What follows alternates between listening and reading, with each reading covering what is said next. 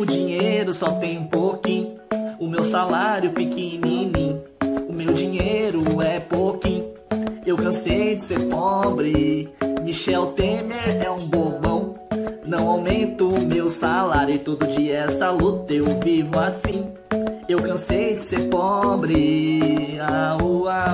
Você sabe qual que vai ser o valor do salário mínimo para o ano que vem, o ano de 2018? Não sei. Quer saber um pouquinho mais?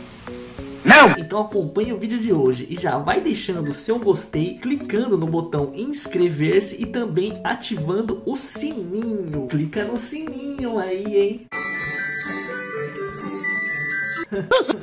Bom, pessoal, o salário mínimo de 2018 vai ser de 965 reais. Isso quer dizer que teve um aumento de apenas 2,99% sobre o valor atual que é de 937 reais. Eu cansei de ser pobre. O salário definitivo, porém, só vai ser conhecido após o presidente Michel Temer assinar decreto atualizando o piso com base na legislação.